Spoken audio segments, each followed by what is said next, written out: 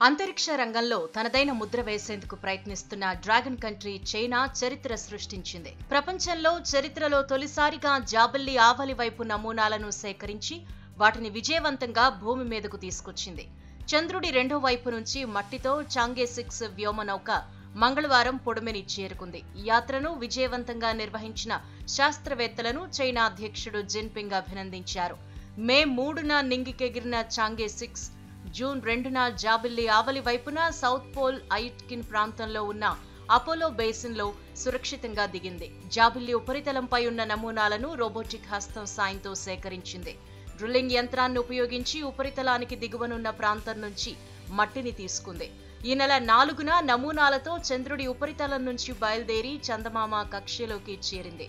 అనంతరం భూమి దిశగా పయనాన్ని ఆరంభించింది. చాంగే సిక్స్లోని రిటర్నర్ క్యాప్స్యూల్ పారాచూట్ల సాయంతో ఉత్తర చైనాలోని ఇన్నర్ మంగోలియన్ ప్రాంతంలో మంగళవారం సురక్షితంగా దిగింది. ఇందులో రెండు కిలోల మేర జాబిల్లి నమూనాలు ఉండొచ్చని భావిస్తున్నారు. ఈ క్యాప్స్యూల్ను వాయు మార్గంలో బీజింగ్ తరలించి అక్కడ తెరుస్తారు. చందమామ నమూనాలను శాస్త్రవేత్తల బృందానికి అప్పగిస్తారు. చంద్రుడి ఆవిర్భావం గురించి ఇది మరిన్ని కొత్త వివరాలను వెలుగులోకి తెస్తుందని శాస్త్రవేత్తలు భావిస్తున్నారు. జాబిల్లి రెండు పార్శ్వాలకు మధ్య ఉన్న వైరుధ్యాల గురించి కూడా తెలుస్తుందని వివరించారు.